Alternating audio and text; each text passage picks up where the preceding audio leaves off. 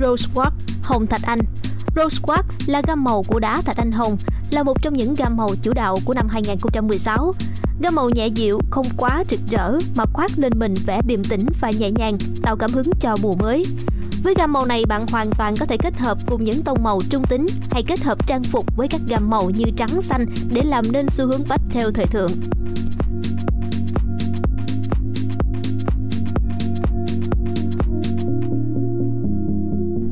Serenity Tông màu xanh Serenity tạo nên cảm hứng về một mùa hè đầy sự phấn khởi. Năm nay các màu sắc không quá rực rỡ hay mạnh mẽ. Cam xanh khi kết hợp cùng các sắc màu như hồng, xanh, trắng hay thậm chí là tông màu lạnh cũng tạo nên sự cân bằng nhất định cho tổng thể trang phục. Lilac Gray Tông màu xám trung tính không bao giờ thiếu vắng.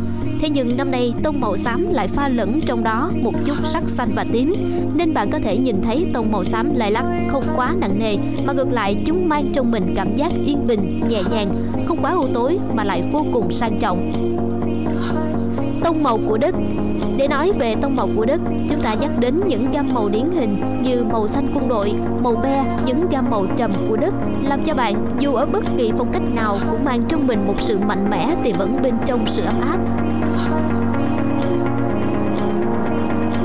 Cam trực trở Màu cam là một trong những màu sắc gắn liền với mùa nóng nhất của năm, nhưng không vì vậy mà chúng khó trong việc kết hợp.